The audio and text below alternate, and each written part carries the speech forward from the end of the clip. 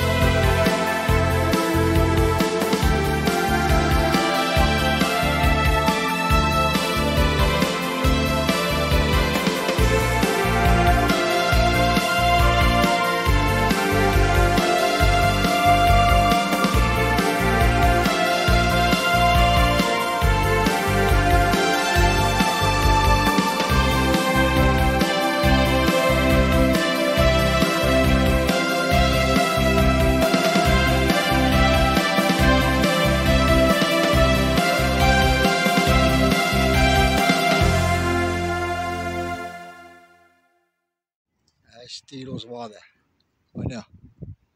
nauding siin istuda praegu siin kivi peal ja vaadata. aga jah, nüüd sai siis vähe turnitud ja loobutud ja allapoole tuldud ja nüüd ma näen, lähen ikka siit mööda seda perve sinnapoole ja seal on paarsada meetrit, võib-olla kolmsada meetrit kaardi järgi umbes. siis peaks olema jõudma ametlikule teele, mis on siis kuskil seal seitsmesaja meetri kõrgusel sealt, sealt alt see kuskilt hakkab tulema, sealt tagant tuleb üles, ja läheb siit mööda äärt sinna taha otsa välja, kust ma alguses tahtsin otse üles minna, aga ei õnnestunud. aga seiklust on palju olnud, väga huvitav on olnud, mõnus. no see vaade on siit mõnus on nautida, aga pisike kõik ikka on, et aga noh, siin see mingi mõttetu mägi ja kõrgus siin pole veel. aga esialgsed viilingud saab kätte siit.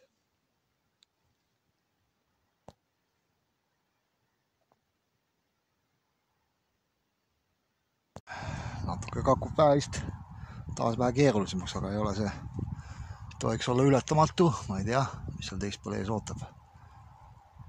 kurat, tagasi ei viitsi küll minna siit. siin see muidu kõik on ma tulin kuskilt.